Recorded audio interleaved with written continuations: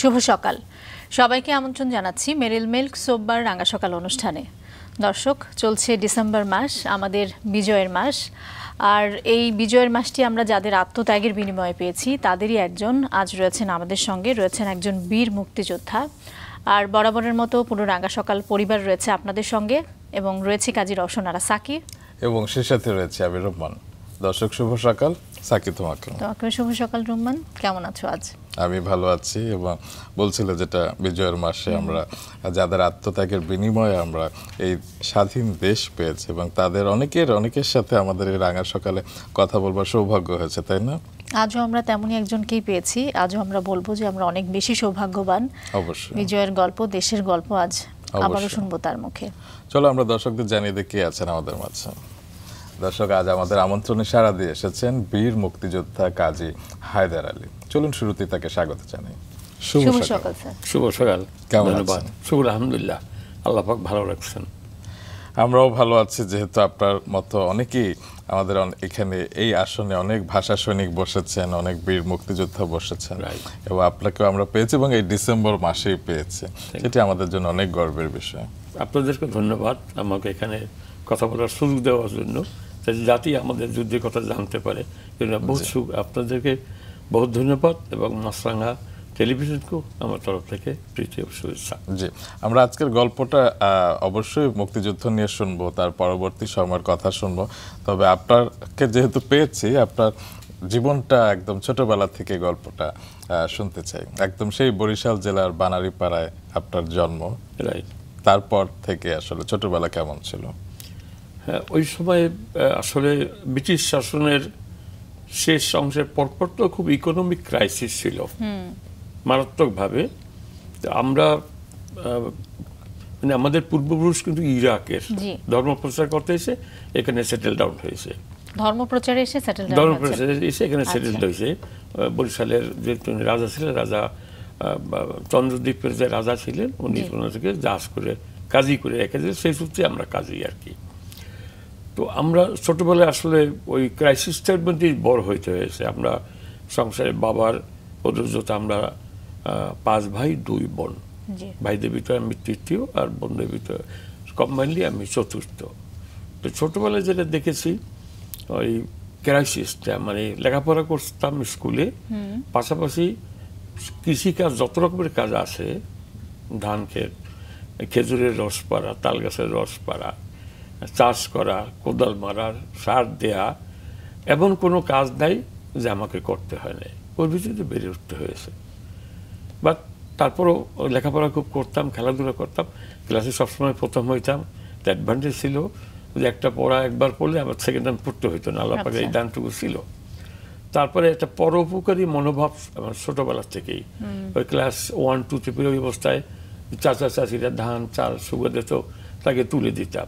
টিউবওয়েলটা একটু দূরে ছিল ডিপ টিউবওয়েল ওখান থেকে পানি এনে নিজেরাও খেতাম চাষিদেরকেও দিতাম। আমরা আপনার কি মনে হয় যে আপনার ভেতরে এই যে মনোভাবটি। এটি আসলে কেন এসেছিল? আপনার পরিবারের কাউকে দেখেছেন নাকি?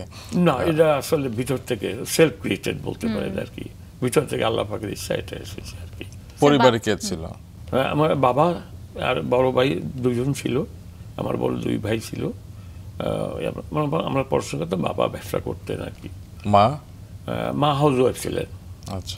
আপনি খেলাধুলায় খুব ভালো ছিলেন বলছিলেন।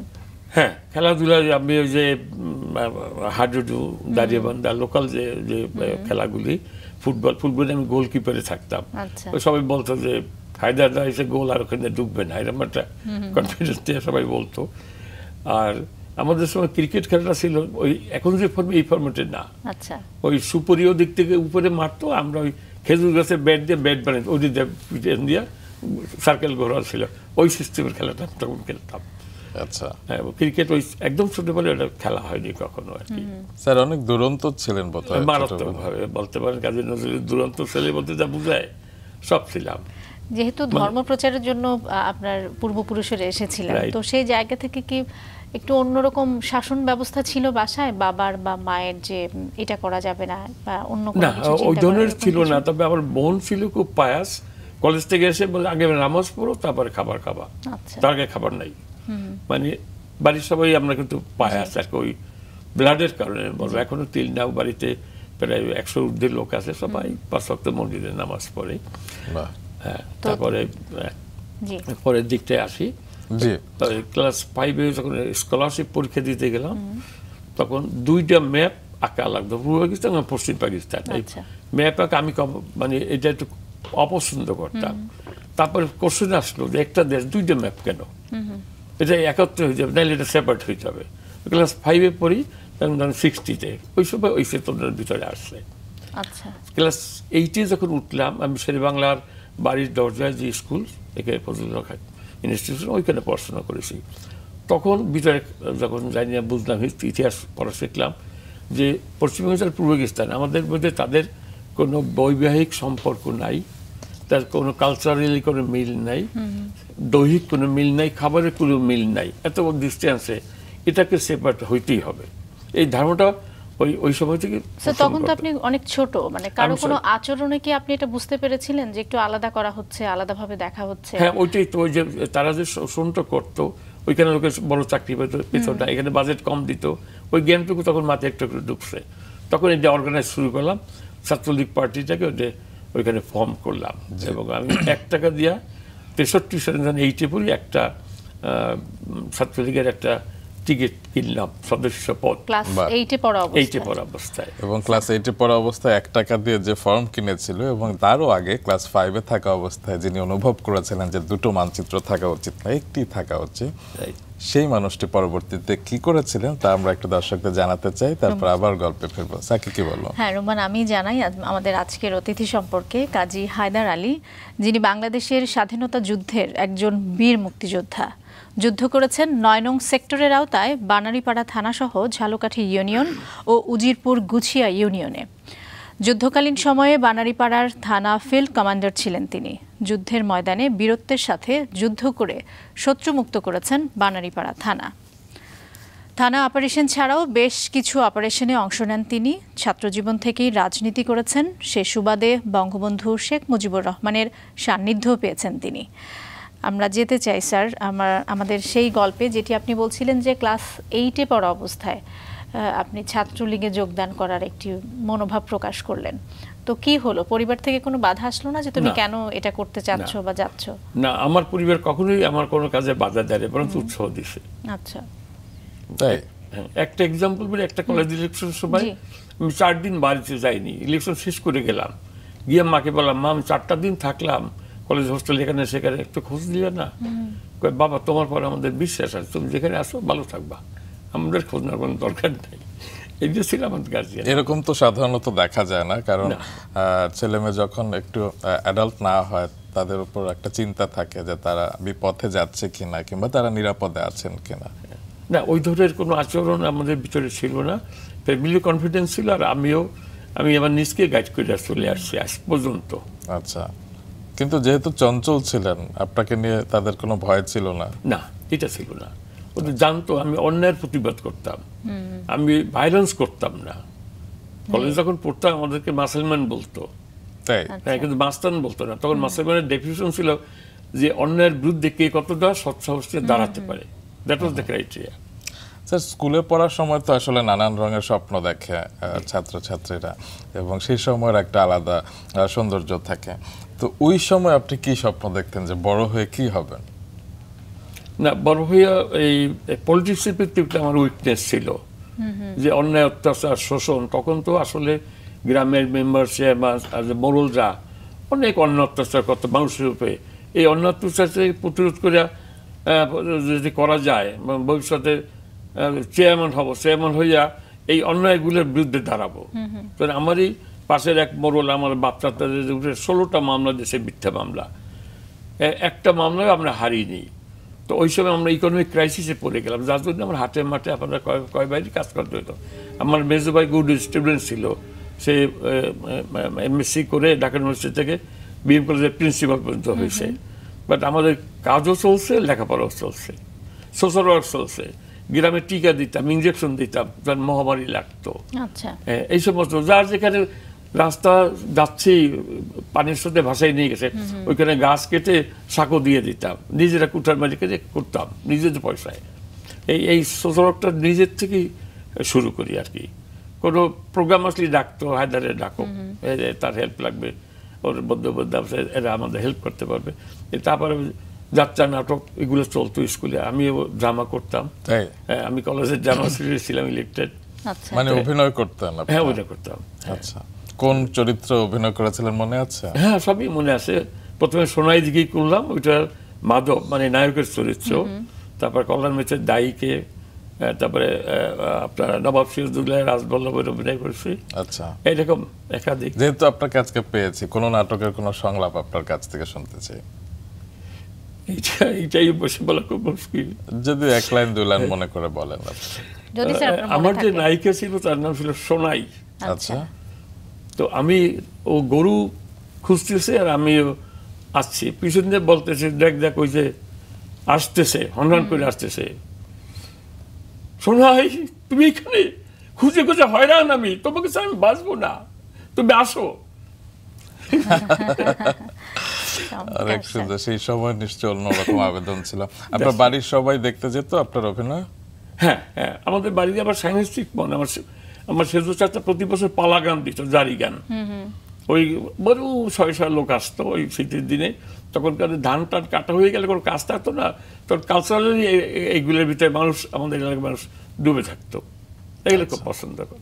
কখন মনে হলো যে না আমাকে আসলে মুক্তিযুদ্ধ করতে হবে মুক্তিযুদ্ধেও আমাকে অংশগ্রহণ করতে হবে? এটা যখন আমরা ইন্টারমিডিয়েট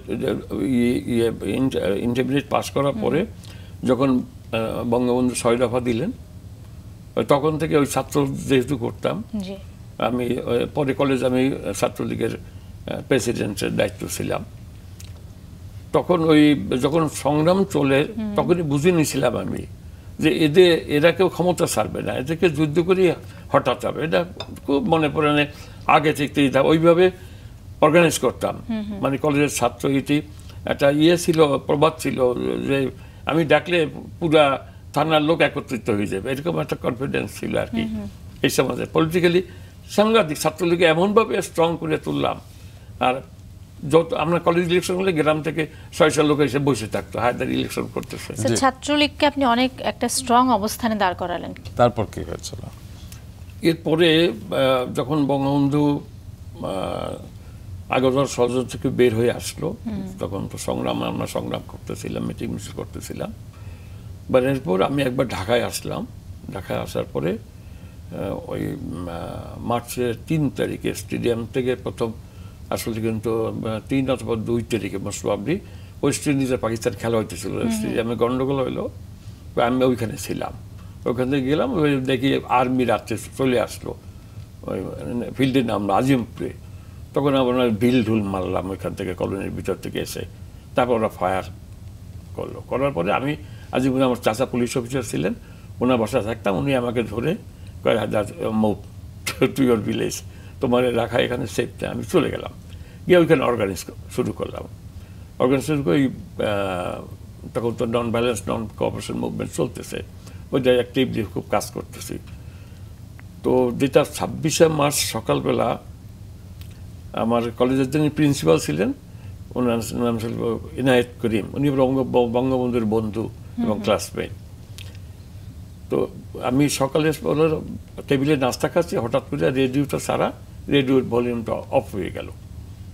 আমি অ্যালার্ট হয়ে গেলাম যে সামথিং রং রেডিও কেন অফ হবে? হঠাৎ করে অ্যানাউন্সমেন্ট আসলো এক জরুরি এলান উর্দুতে। আমি মা বলে জোরে চিৎকার পারলাম মার মানে বিপদ ভেবে দৌড়ি কাছে আসতে কি হয়েছে বাবা? মা সব শেষ। আর্মি রেডিও দখল করছে এখন যুদ্ধ ছাড়া কোনো অল্টারনেটিভ নাই। আমি হাত ধুয়ে বের হয়ে আমার পাশেই শহীদ মতি কেজি উনি মুক্তিযোদ্ধা ছিলেন উনি শহীদ হয়েছেন সবসময় পিড়ে বাড়ির যুদ্ধে। ওনাকে সাইকেলে তুলে আর আমরা চলে আসলাম বাংলা যে ডাক বাংলায় থাকতো ওইখানে। ওইখানে আমার প্রিন্সিপাল স্যার থাকতেন। আসে উনি একটা আমাকে হায়দার আসছো? এগুলি আমার একটা কাগজ ধরাই দিলেন ইপিএল এর ওয়েলএস মেসেজ বঙ্গবন্ধু যে স্বাধীনতা ডিক্লেয়ার সেই মেসেজটা আমার হাতে দিলেন। হাতে দেওয়ার পরে খানিক্ষণ আলাপ করে স্যার যুদ্ধ সঙ্গে অল্টারনেটিভ কিছু নাই। স্যার আমি চললাম। আমি গিয়ে গ্রামে সব ছাত্রদের বা যারা ওই বয়সে তাদেরকে অ্যারেঞ্জ করলাম। হঠাৎ করে আমার বাড়ির পাশে একজন মানিক মোগল আমার চাচা লাগে সম্পর্কে ও বেঙ্গল রেজিমেন্টে ছিল ও ছুটিতে ছিল। আচ্ছা। ওকে অ্যাপ্রোচ করলাম ওই চাচাকে আমরা দু দু দু দু করে ডাকি। আমি বলি চাচা এই তুমি ট্রেনিং দিতে পারবা সহসা একা পারব। তারপর মানে সাতাশে বছর ট্রেনিং শুরু করে দিলাম। মানে আমার বাড়ির দরজা স্কুলের সামনে তখন এরপর আরও চারজন ইনস্ট্রাক্টর পাইলাম মালেকশো ইপিপিআর তারপরে হাকিম মোল্লা ইপিআর একজন আবুল কাসেম উনি ছিলেন নেভির। এরা আমাদেরকে ট্রেন ড্রাইভ করল।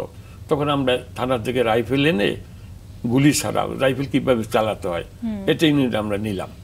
নিয়ে ওইভাবে কাজ করতেছি আর কোনো লুটপাট এসব কিছু না হয় ওটা দেখতেছি। কারণ আমাদের ওই বেল্টের পরই একটা হিন্দু এরিয়া আছে যে টোয়েন্টি স্কোয়ার মাইলের ভিতরে কোনো মুসলমান নাই। আচ্ছা। তাই ওই যে একবার পাকিস্তান ভাগো অবস্থায় লুটপাট হয়েছে ওইটা না হয় তা থেকে প্রোটেকশন দেওয়া শুরু করলাম। এর ভিতরে আপনার চব্বিশে এপ্রিল বরিশাল ফল করল। মানে পাকিস্তান আর্মি দখল করল। এ দিয়া ছত্রিশে নামাইয়া দখল করল। তো আমার কাছে ছিল একটা রাইফেল ওই একটা রাইফেলই দিয়ে আর সবাইকে নিয়ে আমি এটা অর্গানাইজ করতেছিলাম। তো হঠাৎ করে আমরা পাশে গ্রামে আর্মি আসলো।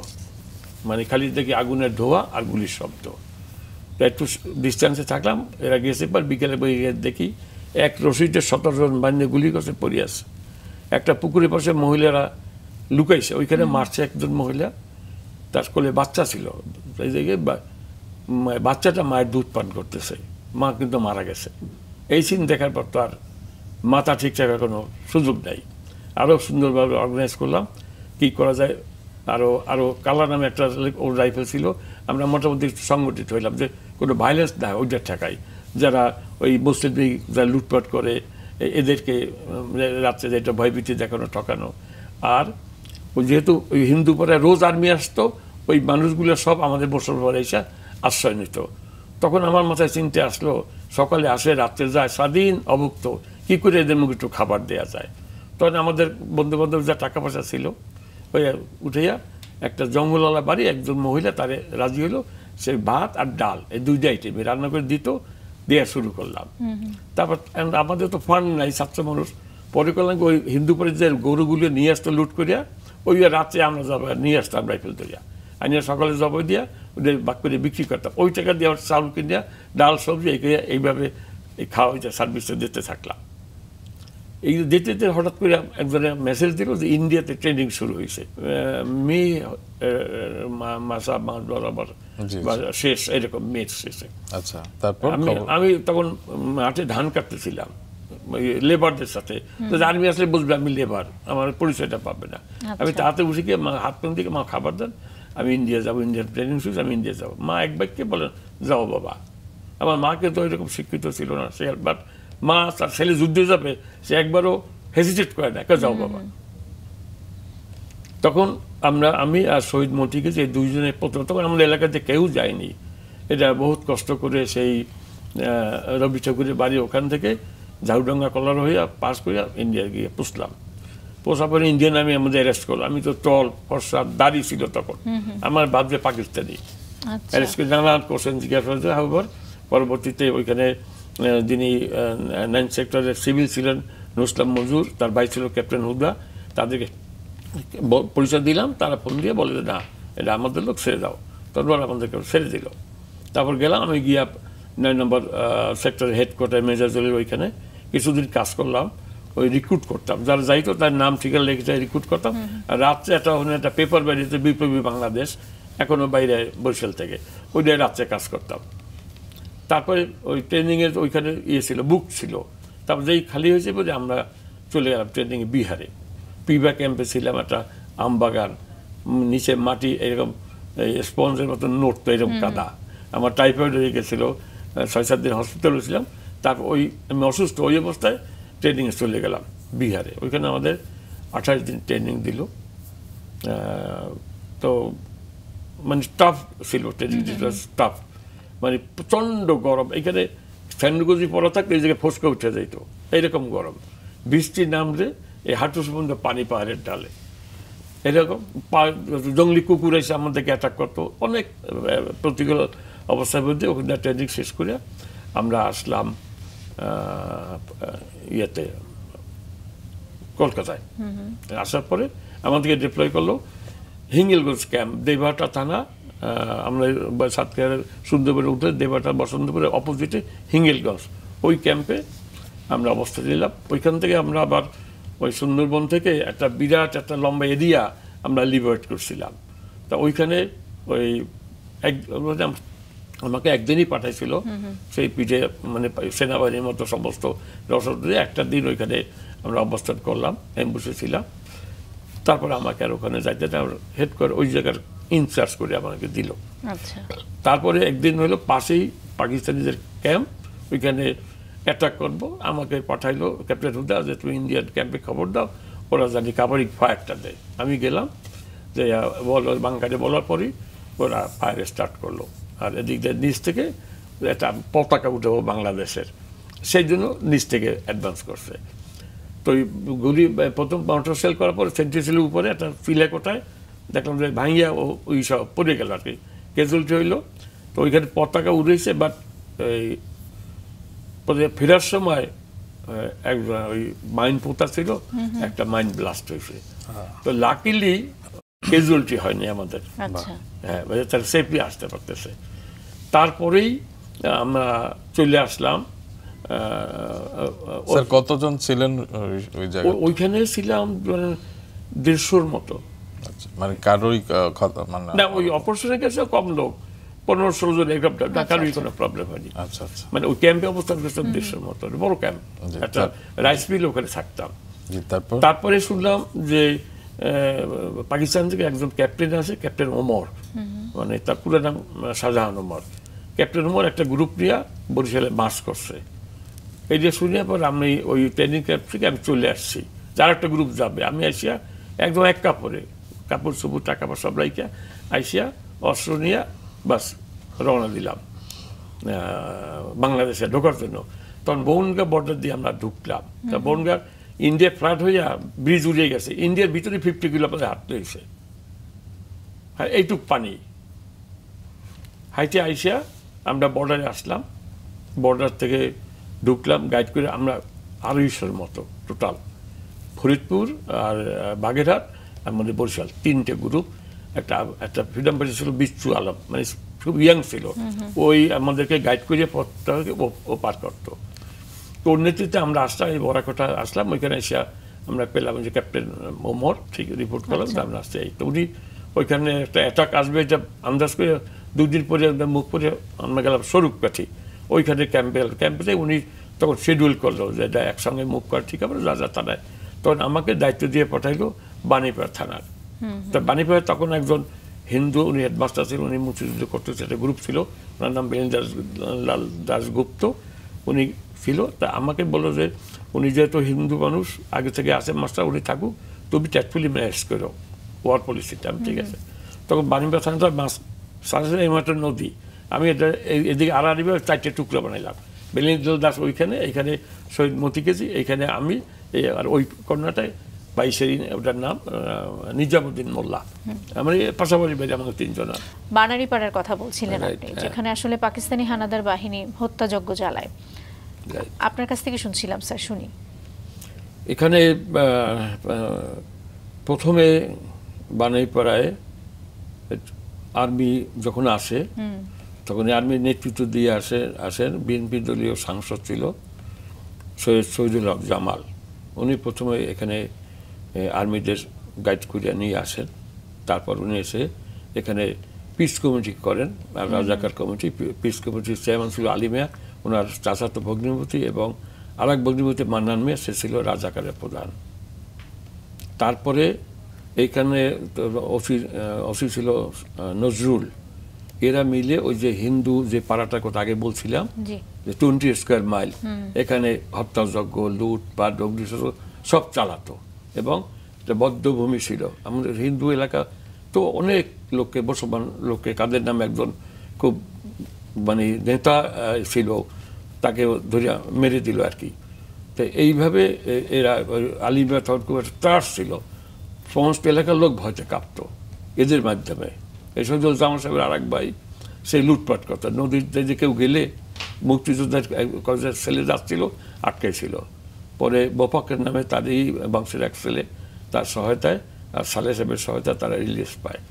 হাওয়েবার যখন আমি অস্ত্র নিয়ে এসে এখানে এই জায়গায় অবস্থান নিলাম তখন মেজর জলিলের আমাকে নয় নম্বর সেক্টর যিনি কমান্ডার ছিলেন major Jalil M A major Jalil ওনার বাড়ি ছিল আমাদের উজিরপুরে নদীর পারে ওইখানটায় নদীর পাড়ে আর্মি নদীতে যত নৌকার লোকজন যেত এগুলো লুটপাট করতো মারতো যা খুশি করে বেড়াতো।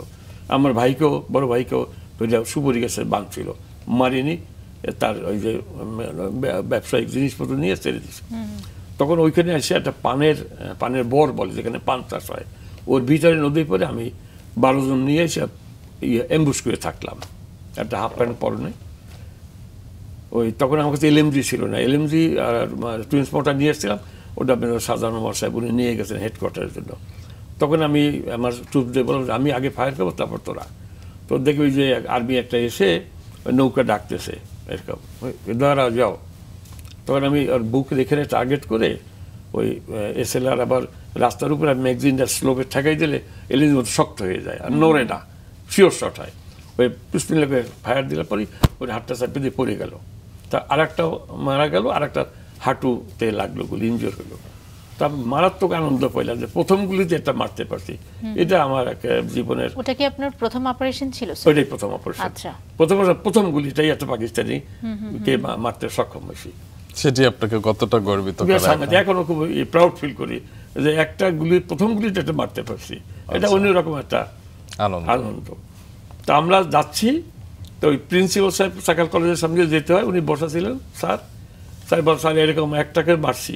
হাসে গেছে তার কাছে আমরা বাচ্চা তোরা আবার আর্মি মারবি স্যার খবর পাবে উনি আবার করতো কি? উনি খবর পাইতো সব বরিশালের। হ্যাঁ আর আমরা একটা হিন্দু এলাকাটা ওই মুক্ত ছিল। ওইখানে একটা পোস্ট অফিস ছিল। স্যারের সাথে ওই পোস্ট টেলিফোনে ওর সব তথ্য নিতাম। স্যারে ফোন দিলাম। স্যারে কয় না মারা গেছে দুইটা আর একটা হাঁটু মানে এগুলো লেগে। পা নষ্ট হয়ে গেছে। এটা ছিল প্রথম। তারপরে এসে আমরা থানা অ্যাটাক করলাম একবার। ওই থানা অ্যাটাকে হ্যাঁ একজনকে স্মরণ করতে হয় ওনার নাম ধলা ধলাভাই ধলাভাই ডাকতাম ফর্সা ছিল অবৈদিক কালাম আমি গুলি করতেছি পজিশন আমার পা ধরে নাড়াইতেছে। তাই মনে কোনো সিগন্যাল আসছে বলতে আমার কাছে? তাকাইছি কয়, বাইরে এটা খেয়ে এলো একটা ডাব পেটে নিয়ে আসো। বল কয়, গলা হুগাই গেছে না মানে পানি পিউছে তো এটা খেয়ে নাও। আমি ঠিক যায় নাহলে এখন কিন্তু লাতি বাঁধবো ওয়ার ফিল্ডে চলে গেছে কারণ মানুষের এই যে উৎস আবেদনের কপারেশন বললাম না তো। তারপরে তারা দখল করে ওই- ওই সময় আমাদের একজন দুইজন মুক্তিযোদ্ধা শহীদ হয় ওই ফাইটে ওরা একটা গ্রুপ আসছিল কাউকুলি থেকে পনার নেতৃত্বে ওর গ্রুপে দুজন শহীদ হয়। আমরা এটা দখল করলাম। কোন থানার কথা বলছেন? বানারিপাড়া। আচ্ছা আচ্ছা। বানারিপাড়া। স্যার যেটি সাকির শুরুতে দর্শকদের জানাচ্ছিল যে আমাদের জাতির জনক বঙ্গবন্ধু শেখ মুজিবুর রহমানের সান্নিধ্যে আসার সৌভাগ্য হয়েছিল আপনার সেটি কীভাবে? প্রথম আমি ওই ছাত্রলীগের প্রেসিডেন্ট সেই সুবাদে শেখ ফজল মনির বিবাহ হইল। আচ্ছা। ওই আজুল আপার সাথে আজুল সেমিস্টার মেয়ে ওই ওইখানে আমি দাওয়াত পাইছি সভাপতি হিসেবে। ওখানে খাচ্ছিলাম। বঙ্গবন্ধু ওইখানে আসলেন প্রথম। ওই প্রথম ফেস টু ফেস দেখলাম।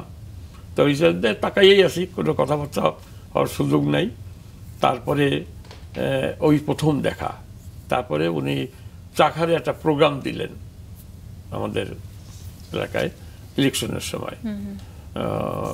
তো উনি ওই আসলেন শিপে গেলেন আমরা গেলাম দুর্যোগ ওনাকে রিসিভ করে নিয়ে আসলাম। এবং আমি তখন অভ্যর্থনা কমিটির চিফ ছিলাম আর কি ওনার নিয়ে আসা তারপর খাবার দাবার পরিবেশ করা সব উনি ডেভেলপ সিজন খাচ্ছেন রেস্ট আমি সারাক্ষণ তাল পাকা দিয়ে তাদের বাতাস করছি। মানে ওইখানে কারেন্ট বন্ধ করে দিয়েছিল। আচ্ছা। একটা মজার ঘটনা হচ্ছে একজন লোক আসছে স্যার একটা অটোগ্রাফ দেন বঙ্গবন্ধু বলতেছে। তো বঙ্গবন্ধু বলছে যে তোফালের কাছে যাও খবর আসে ওর কাছে যাও। কয় স্যার মৌলানা মৌদুদিও দিছে।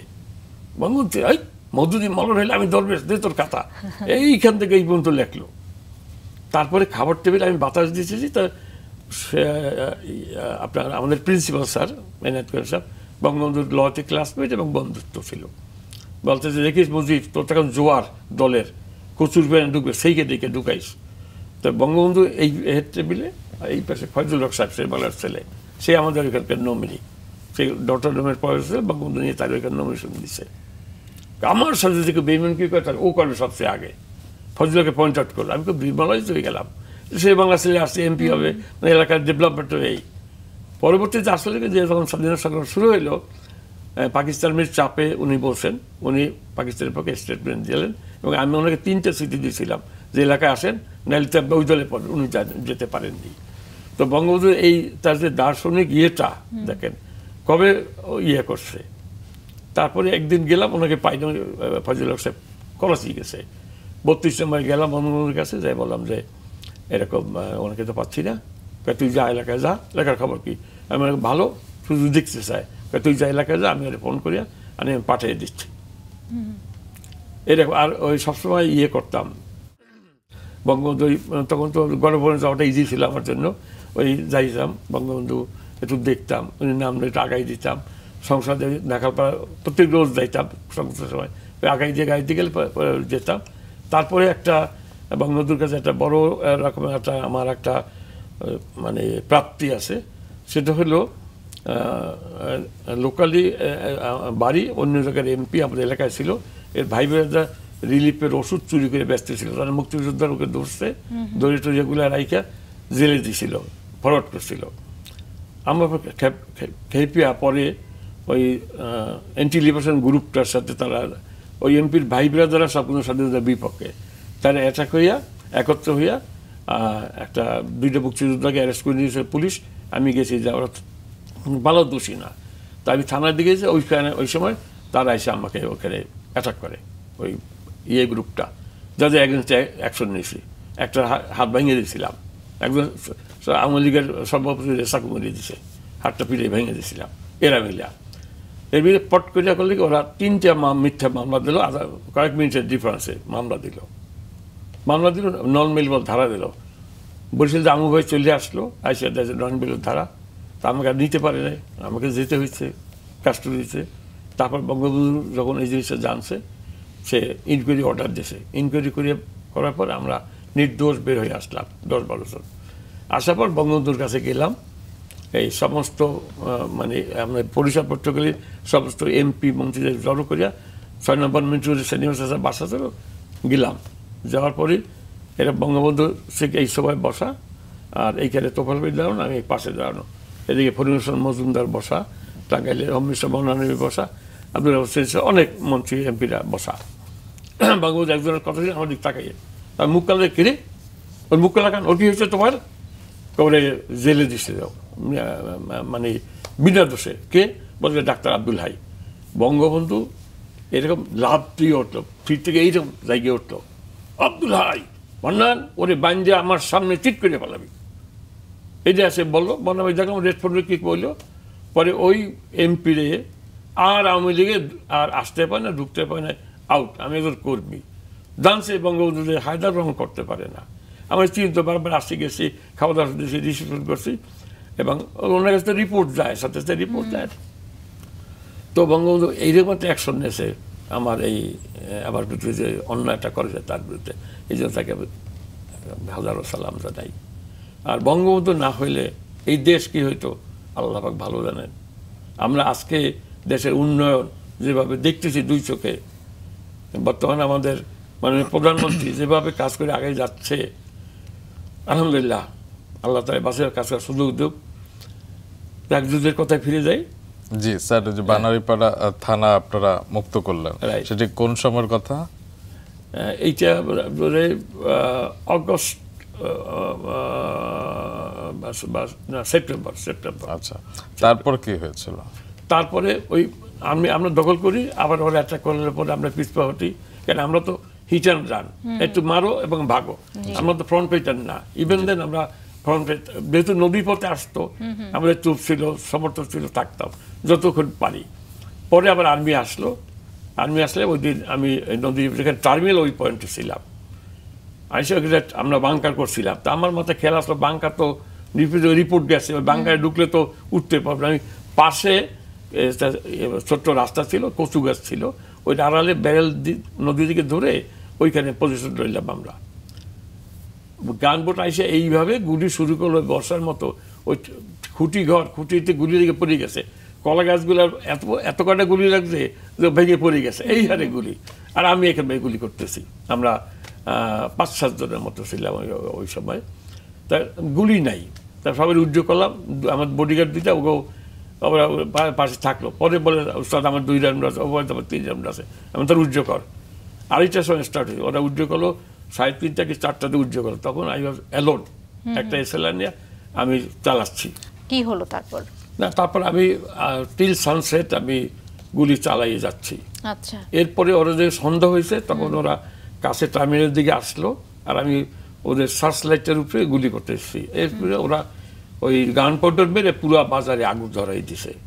তখন তো আর ওই আগুন ধরে তো আমাকে দেখে ফেলবে আলোতে। আমি ব্যাক করছি। ব্যাক ওই পেজ দিয়ে গিয়া আবার যাই ওরা একটা বিল্ডিং অবস্থা ওইখানে গেছি।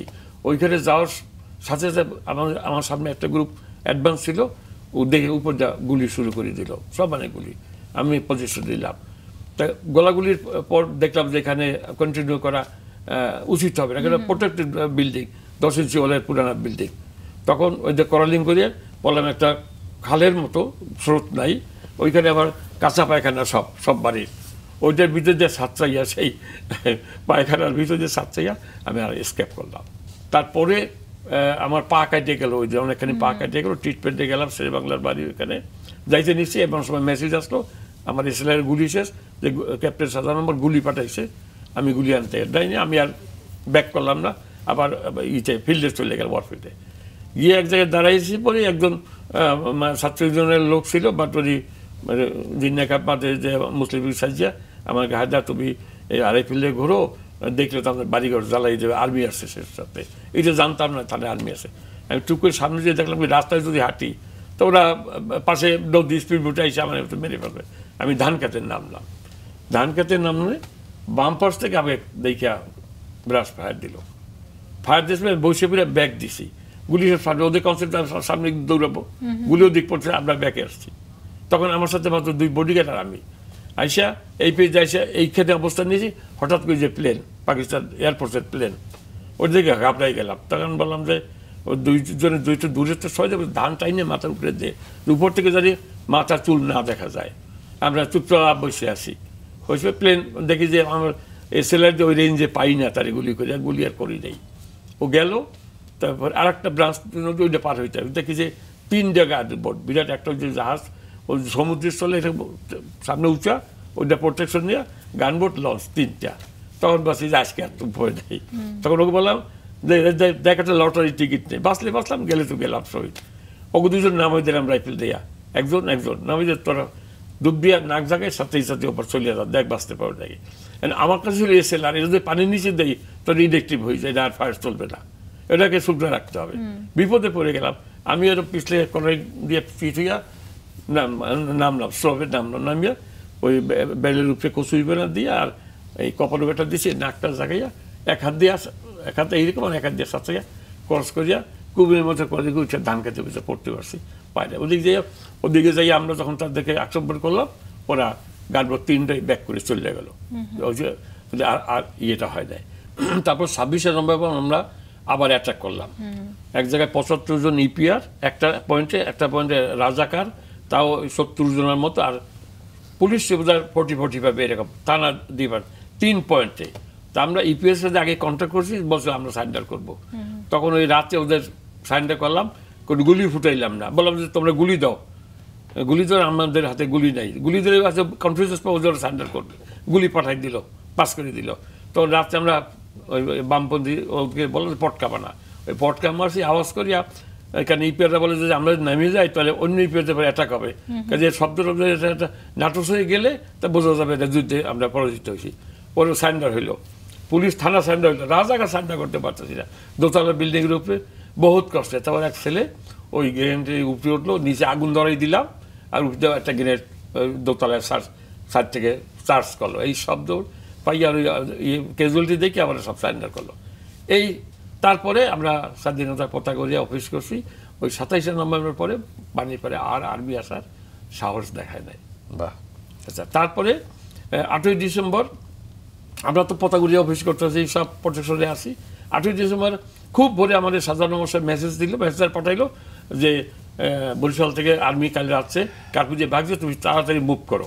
এই আমরা আটই ডিসেম্বর সকালে পুরো ট্রুপ দিয়া আমরা যাই বরিশাল মুক্ত আটই ডিসেম্বর থেকে। আচ্ছা। ষোলোই ডিসেম্বর আট দিন আগে আমরা বরিশাল মুক্ত। আচ্ছা। পুরোপুরি শত্রুমুক্ত হলো বরিশাল। তো যখন শুনলেন যে ষোলোই ডিসেম্বর পুরো দেশ মুক্ত হয়েছে সেই সময় প্রতিক্রিয়া কি কেমন ছিল? ওই সময় আমার কাছে খুব একটা আনন্দ লাগে কারণ আমি স্বাধীন হয়েছি আট দিন আগে। বরিশাল হয়েছে আরও আগে। ওরা যে সারেন্ডার হবে এটা কনফার্ম ছিল যে ওটা বাধ্য হবে সারেন্ডার করতে। ওই জন্য ওইরকম একটা আনন্দ আমার ভিতরে আসে না। বিকজ ওই আনন্দের ভাগ তো আমরা আগেই শেয়ার করে ফেলেছি। জি। স্যার দেশ তো স্বাধীন করলেন আপনারা সবাই তো দেশ স্বাধীনেরও পঞ্চাশ বছর অতিবাহিত হয়ে গেল। তো দেশ স্বাধীনের পঞ্চাশ বছরে এই সময়টিকে একাত্তর থেকে দুই হাজার একুশ পর্যন্ত সময়টিকে আপনি কীভাবে মূল্যায়ন করবেন? দেশটাকে আমরা স্বাধীনতার মূল চেতনা ছিল মানে নির্যাতনের হাত থেকে রক্ষা পাওয়া। সাধারণ মানুষ যাতে নিপীড়িত না হয় বঙ্গবন্ধু এটা চাইছিলেন। আমরা একই যে সাধারণ মানুষের কষ্ট যাওয়া কিন্তু সেই সাধারণ মানুষের কষ্ট কিন্তু আজও যায়নি। দেশ আগাইছে ডেভেলপমেন্ট হচ্ছে বা দেখেন, যারা রিয়েল যারা জনগণ তারা কিন্তু এখনও কষ্টে আছে। কোনো অফিসে গেলে সুস্থভাবে বিনা টাকা ছাড়া কোনো কাজ করে আসতে পারে না। কোনো ডেভেলপমেন্টের বাজেট গেলে সেটা প্রপারলি ওরা পায় না। সর্বশেষ একটু পায়। এটা হওয়া উচিত না। এটা বান্দার হক।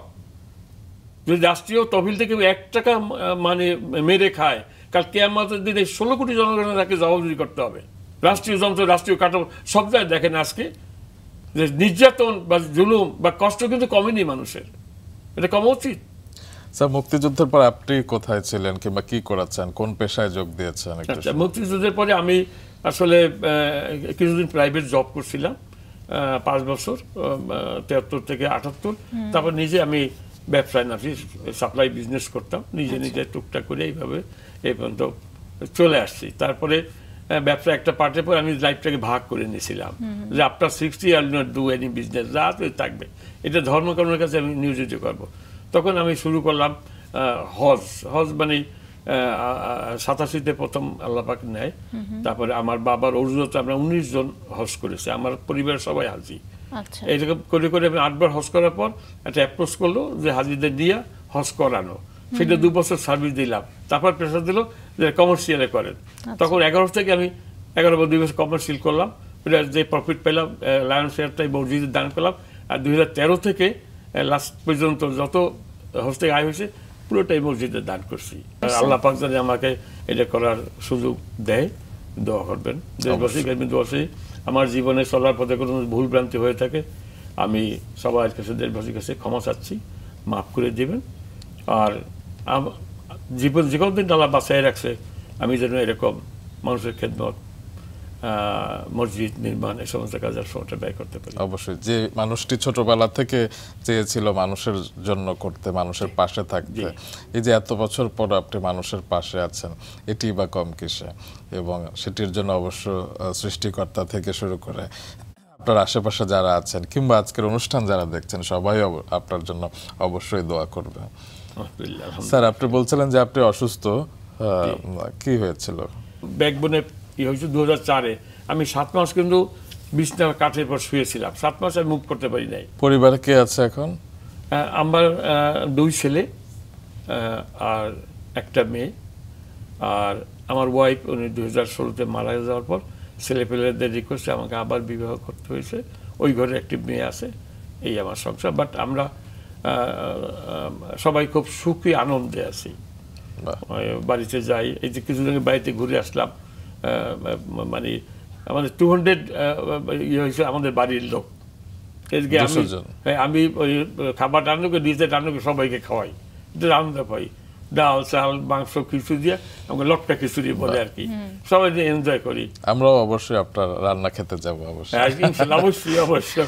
আমি খাওয়াবো স্যার আজকে সকাল থেকে এত সুন্দর করে তুলবার জন্য অনেক অনেক ধন্যবাদ কারণ রাঙা মানুষদেরই আমরা এখানে আমন্ত্রণ জানাতে চাই এবং আপনারাই রাঙিয়েছেন আমাদের আহ, পতাকাকে এবং আমাদের পতাকার রংটা আসলে উজ্জ্বল হয়েছে আপনাদের মতো মানুষদের কারণে।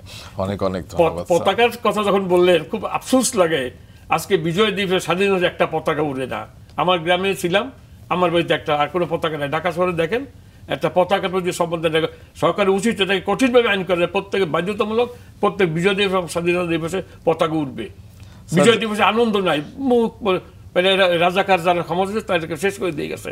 এটা এই গভর্নমেন্টের উচিত মাইন্ড করা যে মাস তুলতেই হবে পতাকা। জি, স্যার, যারা চেতনাকে বুকে ধারণ করে তারা অবশ্যই পতাকা ঝোলা এবং পতাকা টাঙ্গা যেমন আমাদের এই মাছরাঙ্গা টেলিভিশনে সবসময় বিশেষ দিবসে পতাকা উত্তোলন করা হয়, বিজয় দিবসও হয়েছিল। স্যার, আপনাকে অনেক ধন্যবাদ। ধন্যবাদ, বহুত ধন্যবাদ। আপনাদেরকে ধন্যবাদ। মাস্টার দর্শক বন্ধু আমার কথা ল্যাঙ্গুয়েজ প্রবলেম হইতে পারে, বয়স হয়ে গেছে। বলতে চাইলে মাফ করবেন, দোয়া করবেন। আল্লাহ যেন ইমানের সহিত মৃত্যু দেয়। আর কিছু চাওয়া পাওয়ার নাই। যত পারি দিয়ে যেতে পারি, সেই দোয়া করবেন। السلام علیکم ورحمۃ اللہ وبرکاتہ۔